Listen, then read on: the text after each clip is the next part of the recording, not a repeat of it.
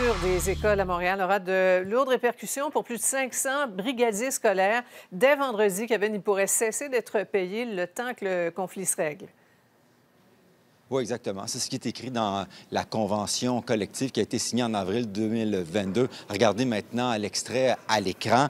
Euh, les congés pour force majeure, donc tempête, jour d'élection, grève, peut être utilisé pour un maximum de trois journées consécutives. À partir de la quatrième journée, le brigadier est en congé sans solde jusqu'à la reprise des activités. Donc, ça veut dire que dès vendredi, en principe, il ne serait plus payé et un brigadier euh, gagne environ 16 000 par année. Le syndicat craint que des brigadiers claquent la porte dans une période où on est en pénurie de main-d'œuvre. Le syndicat m'a aussi dit que la ville ne voulait rien savoir en début d'après-midi de changer quoi que ce soit. Voici la conseillère syndicale suivie de Alain Vaillancourt, qui est le responsable de la sécurité publique à Montréal déjà, ils n'ont pas des gros salaires. Et en plus de ça, ben là, on va, on va leur dire qu'ils n'auront pas de salaire ou ils vont être sur l'assurance emploi. Si jamais la grève dure, ben c'est encore pire parce qu'ils n'auront peut-être même pas assez d'heures assurables pour pouvoir bénéficier euh, de l'assurance emploi durant la période estivale.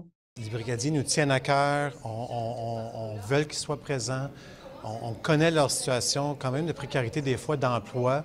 Alors, il n'y a jamais été question de les laisser tomber. Et je vous garantis, nous allons trouver une solution pour les rémunérer si la grève va au-delà de trois jours.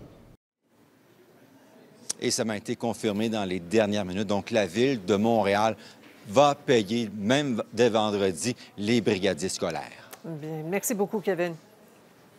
Au revoir.